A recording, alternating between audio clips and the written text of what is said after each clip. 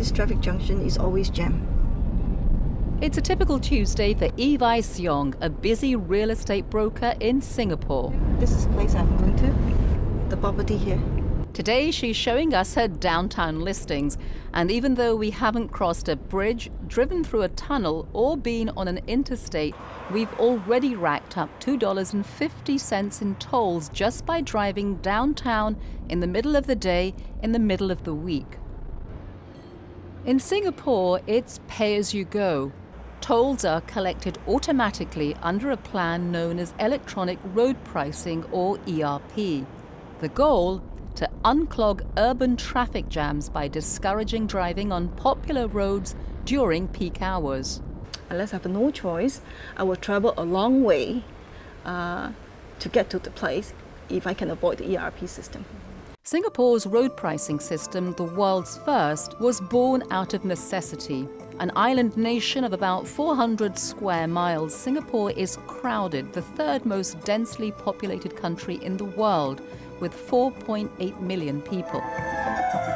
We have been, in a way, forced by circumstances to do many of the things uh, that we had to do.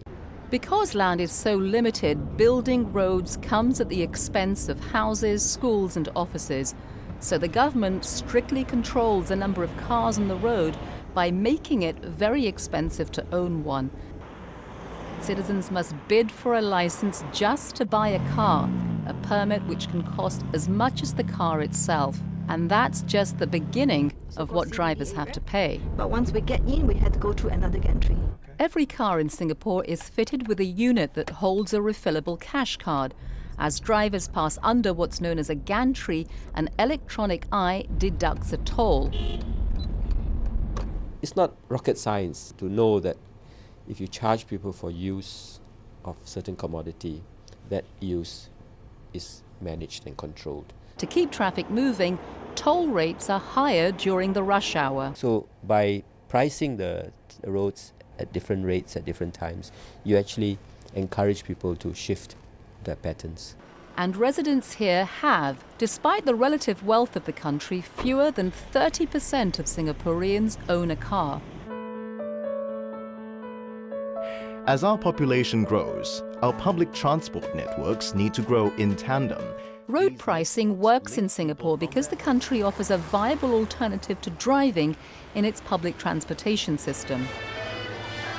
Bus stations here are lifestyle hubs with free wireless hotspots. Commuters receive text messages with updated transit information. You can shop, bank, eat, and transfer to other buses or the subway known as the MRT. Next station, City Hall. The MRT is the backbone of Singapore's public transportation system. It opened in 1987 and has an average daily ridership of 1.7 million people. That's up nearly 70% in the 10 years since the road pricing system was implemented. We want to make our MRT system a welcoming place. That means people will use it, they will feel comfortable using it. And people do like it. A 2008 Gallup poll names Singapore's MRT the best in the world in terms of customer satisfaction. Uh, we took extra care to ensure that uh, when we designed the stations, we wanted to ensure that the stations are spacious so that people feel comfortable walking in them. But not too comfortable. Loitering is illegal and there are hefty fines attached. You see, it's not working. Oh, I got some problem with the cart. I gotta pull over, otherwise I get fined. In this country, famous for its fines, there are, of course, penalties for driving through the gantries with insufficient funds. this is what people say about Singapore. Pay, pay, pay is a fine country.